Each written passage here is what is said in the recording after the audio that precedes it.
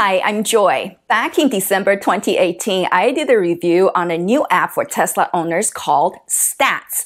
This is an iOS only app, by the way, so sorry, Android users. You can exit out of this video now and move on to something else that would be more interesting to you. I noticed that each time I share data about my Model 3 from this app, there are always people asking where to find that info in the official Tesla app. Because it's been over three years since I first shared this app and the developer has added lots of new features and enhancements to it, I thought that now is a good time to do an updated review. This way you can see what this app is all about and understand why this is a must-have companion app to the official Tesla app on your iPhone. When you first fire up the app, the first screen gives you a dashboard on your Tesla. You can see the current battery state of charge and the charging limit that you have set. Below this, you can find information on the phantom drain rate for your car. Then the app gives you your current estimated and rated ranges for your car. So you have an idea on any battery degradation that might be occurring. Right below this, it tells you your current driving efficiency and miles per gallon equivalent info for your car. If you scroll down, you can also check on your tire pressure without having to be inside your car. Right now, it's not showing any info because my car has been parked for a while and the sensors are offline. If you tap on that little eye icon, it explains when and how tire pressure data will be displayed in the app. The last section on this page tells you how many miles and kilowatt hours you've added when you last charged your car. The total cost of that charging session, along with your average watt hour per mile driving efficiency since that charging session. The second page in the app gives you several graphs about your Tesla that the official app doesn't tell you. The first section shows the history of your recent charging sessions. You can view your daily, weekly, or monthly charging history. You can also toggle between added miles, cost of charging session, how much kilowatt hours you added to the battery, and how much you might have saved compared to pumping gas. The second section shows you the actual driving efficiency of your vehicle and the trend with respect to the odometer reading on your car. You can also view the miles per gallon equivalent and trend from your driving history. Scrolling down, this section displays how much you've driven on a daily, weekly, and monthly basis. You can also tap on the little up arrow icon on the right and export your trip info into a CSV file. This is very useful if you use your Tesla for business purpose and would need to get mileage reimbursement or for tax write-offs. The next graph on this page shows you how fast your car was charging at your last charging station in relation to the battery capacity. Because I supercharge most of the time, my graph spikes up really quickly when I first plug in the charger. And then supercharging speed gradually slows down as my battery gets fuller. If you're interested in learning about what charging behavior looks like for different types of charging, you can check out the video I am linking on the screen to learn more. The graph below is the one I share online the most that makes people ask about which app I got the data from. This graph shows the battery health by odometer. You can see that when I first got my Model 3 in 2018, the official EPA rated range was 310 miles. Tesla did a range unlock via a software update when I hit 10,000 miles that supposedly added an additional 15 EPA rated miles, but that didn't stay long. As you can see, my rated range went back down. However, I'm happy to see that after almost four years of ownership, my battery remains super healthy with over 300 rated miles still on a full charge. This next section is actually not included in the app and I paid an additional one-time fee to unlock this feature at the time of video publication.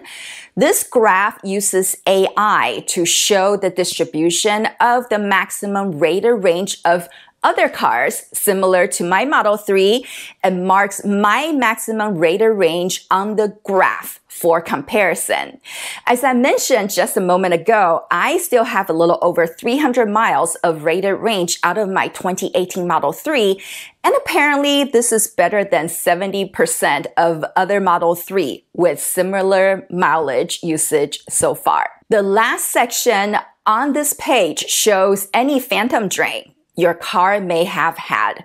Again, you can view by range or miles lost, duration of the drain, and draining rate. When you tap on each of these bars, not only will it display the actual data value, but it will also show you the location of where the phantom drain occurred. Speaking of phantom drain, the stats app does not pull from your Tesla all the time. It only connects to your car when you fire up the app, just like your Tesla will be asleep until you open the Tesla app on your phone. According to the app developer, the amount of energy it uses to connect to your Tesla is equivalent to a few seconds of AC blasting. The concern of this app draining my battery in the background was the first and the most important question I clarified from the developer before I agreed to try this app. After three years of usage, I can confirm that Stats app has no noticeable drain on my Tesla when I use it. The third page of the app allows you to do some comparisons on your particular model of Tesla against other stats app users with the same model or compare your Tesla against everyone across the board. For me, I only care about how Joy Mobile is doing against other Model 3s. So that's the filter I have it on. The first graph shows you how your driving efficiency is compared with other users. Mine is better than 95% of other Model 3 drivers out there, which is pretty good.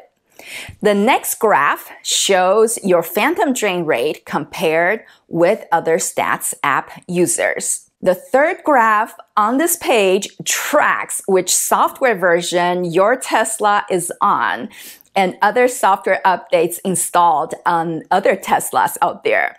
The app can also send you notifications on when a new update has been detected and installed on a Tesla. So you're in the know. The last graph on this page displays the daily average driving efficiency across all Stats app users. It's interesting how you can see big dips on efficiency among users when the weather starts to get cold and how efficiency goes back up during summer months. The fourth menu in the app allows you to control your Tesla remotely, just like the official Tesla app. You can turn on or off the AC, set temperature, open the trunk, lock or unlock the car, turn on and off Sentry mode, or remote start the car. The gear icon in the app takes you to additional features and settings that you can take advantage of. If you run into issues with this app, just tap on the support option and you can send a message directly to the app developer who is extremely responsive. If you scroll down on this page under smart features, you can further customize and automate your Tesla to heat up or cool down your cabin at a certain time each day. Do smart battery prep before you drive. Enable smart sentry based on locations and set smart charging schedules. Under tools, you can set up Siri shortcuts using voice commands on your iPhone or Apple Watch to control your car. I use these Siri shortcuts all the time on my watch when I don't have my iPhone with me. These shortcuts make my life so much easier. Below tools, you can enter your home charging rate, supercharging rate, and cost of gas in your area for the app to calculate your gas savings I have shown earlier in the video. Because I don't have home charging, I simply entered the current peak supercharging rate in the Los Angeles area for both home and supercharging rates. Under notifications, you can enable different notifications from your car. In this section, I want to highlight the car maintenance notifications that you will find super useful. The Stats app can help you track when you need to rotate your tires, when it is time to change your air filters, when to test the brake fluid. As you can see, I am due for this, so I should make an appointment and get this done soon.